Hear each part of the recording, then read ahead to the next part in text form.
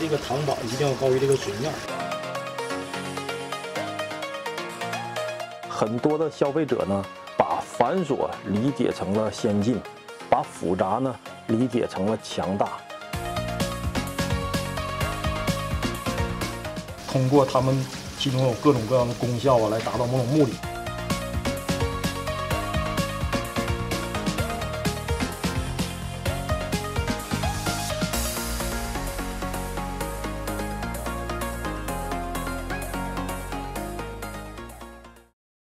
观众朋友们，大家好，欢迎收看亮哥养鱼频道，我是高亮。那么最近呢，接连处理了两例由鱼缸过滤系统不完善而引起的鱼缸问题。那么一例呢是一个饲养龙凤锦鲤的鱼缸，而另一例呢是一个饲养鹦鹉鱼的鱼缸。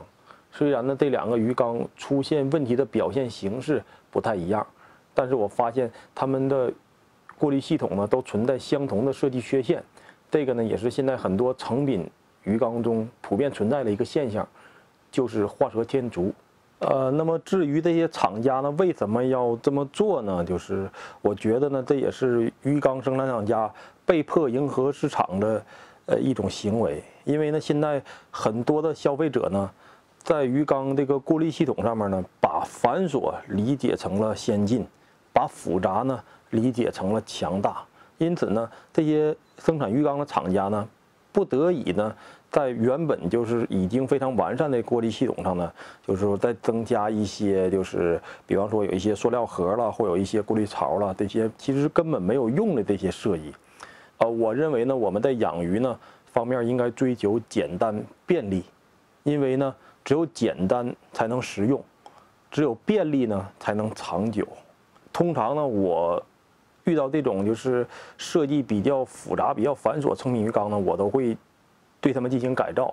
那么我改造的方法呢，其实也是非常简单，就是将它们那个设计设计呢，呃，恢复到它原本来就是非常实用、非常简单的那个面貌，把它这个多余的这些没有用的这些呃部件给它拆除掉。那么呢，本期节目呢，我正好把这两个鱼缸呢，用两种方式。不同的方式呢，给他们分别的进行了一个改进。那这两种改进的方法呢，没有好坏之分。我只是通过这两种方式呢，呃，希望能给鱼友朋友们呢提供多一些的参考和借鉴的地方。那么下面呢，我们就随这个呃摄像机呢，一起看看我是如何对这两个鱼缸进行改造的。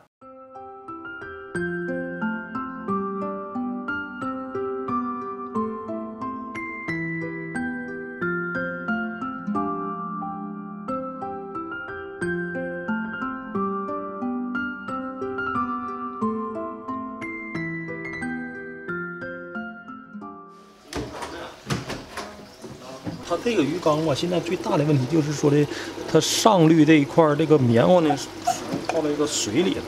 以前在我的课程当中跟大家说过，这个棉花千万不能泡在水里边，它一定要淌出水面，高于水面，这样能达到一个干湿分离的这样一个过滤效果。那么我们现在首先呢，必须要把这个棉花呢底下加高，让它高于水面，这是一个关键。先把这个管给它拿出来。把那个棉花都泡在水里边，护理效果是非常不好。糖板放的位置有点太低了，应该给它糖高一点。那一会儿呢，我给它想办法加点东西，给它糖高一点。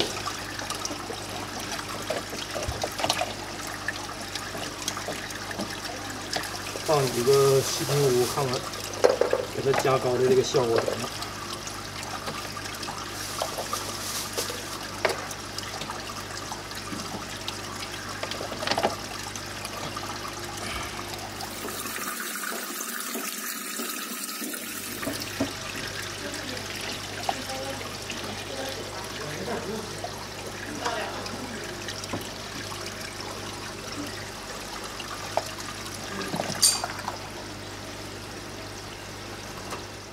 呃，这样改造完了呢，现在就是就说的这个达到了一个干湿分离的一个效果。然后呢，就说的底下除了这个，呃，我用的细菌污，你也可以用别的材料，什么材料都可以。主要的关键是要把这个糖板高于，一定要高于这个水面，这样你才能起到一个很好的一个物理过滤效果。否则的话，这个棉花放在这个泡在水里的话呢，起不到很好的一个物理过滤这个效果。水呢浴缸水呢会不清澈，给人感觉。那么对于它原来的这个浴缸的这个下水这个管，这个可以不用啊，这个东西也是没有什么太大的用处，是一个样子货。那么如果你的这个鱼缸呢，有的时候有一些鱼缸呢，有一些鱼缸呢设计的会更加不合理。当你把这个底下这一块呢，如果说加高加上来之后呢，它上面那个下水管看的太太往下了的话，可能说的你中间没有这个空间，你可能这个棉花呢，比如说到了这个位置了，到管的这个位置了，不是说像我们现在的棉花在管子下边的水平闸上面，它有的时候呢会是另外一种效果是这个。哎，糖高了，糖到这个位置，那怎么办呢？你可以在这个它这个下水这边给它嘎嘎实，然后重接一下，把把这个下水的位置提提上来一些，这样也是一个办法。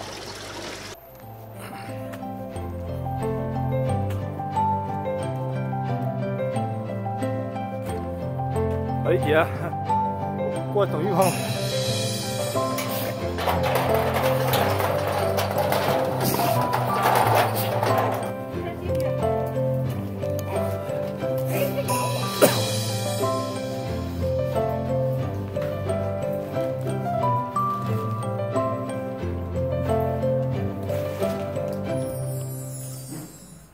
今天呢来到这个另外一个客户这儿，然后他这个鱼缸呢跟我前两天遇到的那个鱼缸呢，他俩特别像。大家可以看一看，它的它也是这个管下来之后呢，也是多安了上面一个上部过滤。过来就然后现在它的物理过滤呢都泡在这个水里边了，物理过滤基本上就等于没有，然后也是需要对它做进行一个。简单的一个改造吧。啊，行。这个扣给它拧。你听着没？你赶紧给我使劲儿。你少少什么？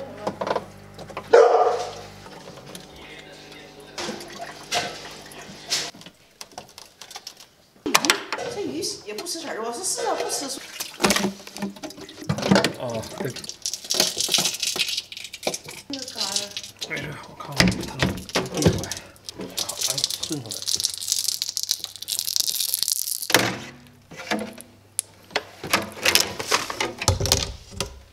啊，行，放这儿吧。哎，费了九牛二虎之力，终于把厂家精心设计这个三过滤给拆除了。它后面拿胶给粘上了。然后它这个过滤里边还有一个比较鸡肋的位。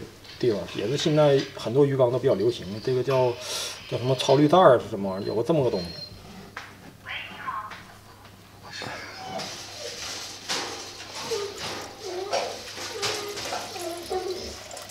这个东西也也也没有用，这这个东西也没有用，给它拆除了，因为它你看它，它本身它占了一个格的这个滤材空间，这个里边其实应该都放上这种滤材，比如陶瓷环了。细菌屋了，它这个现在它放的这一个袋儿，这个袋儿其实没有太多的一个过滤效果，它只是一个样子货，这就是所谓的样子货，一点用没有，把它去除掉。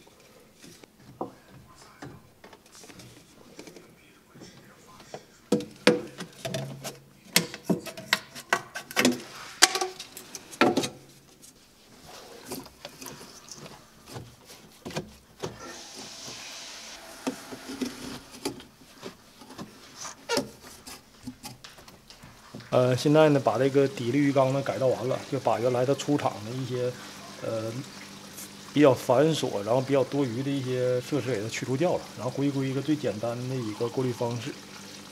原来下水呢，它是经过上原来那个上滤那个槽子，完拐了一下子，现在直接简简单单的下水直接下来，过滤棉，过滤棉高于水面，水面在这儿，底下是呃生物过滤。然后原来这个这个格呢放的是滤袋儿，滤袋也是占用了很大空间。这个滤袋的其实物理过滤效果是非常差的。然后这不如就说我现在就放天通上这种呃生物生物滤材，然后里边这边也添加生物滤材了。这就是一个最简单、最原始的一个下滤的一个构造。它这回过滤效果应该是照原来呢，应该是提升很多，既简单，然后它的效率又非常的高。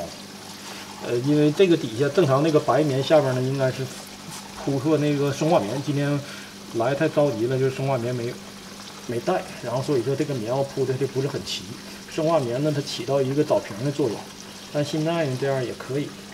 然后下次来呢，就把生化棉给它铺在里边，它能更平一些。然后这个。白棉呢，它就是说的，它的分布这个过滤的效果呢会更匀称一些。现在它是容易呢，就是说的这地方凹的地方呢，它容易水流往这边都往这边流了，然后这边高的地方就是过滤不匀，容易造成一个过滤不匀的这么一个情况。嗯，这个生物滤材呢，就是说这里边有很多种啊，这这个不是说的。我追求它有什么功效，而是说这个是以前我做评测的那那那些滤材，然后我就拿过来了。如果说是我没有那些滤材的话，我就单纯的会放那一种陶瓷环，或者是放一种细菌炉就可以了。这个多样性不是说的通过它们其中有各种各样的功效啊来达到某种目的，它们什么功效没有。这个也是跟这些鱼友朋友们解释一下。这鱼缸里现在有一条鱼，它得了这个头重病。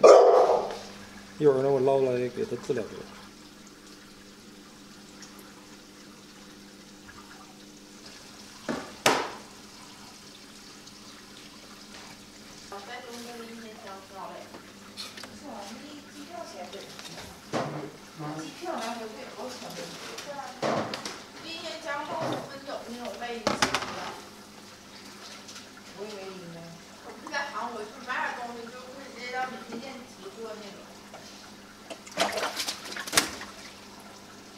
第一步呢，我们先把它这个白色东西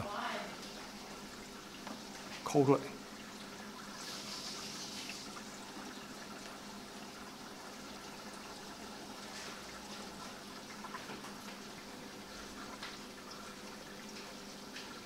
咋把这狗？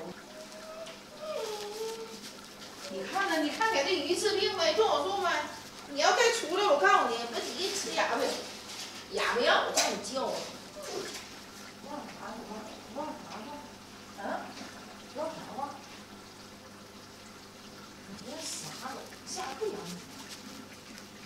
你要再忘了，我不要你了，你给我离家出走吧，别回来了，听着没？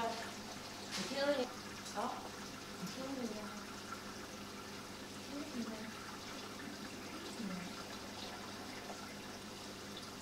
玉莲这不是母亲多乖似的，你说你看你这给人吓一跳，那小狗躲着你走，你像大毛驴似的。说谁呢？老虎，这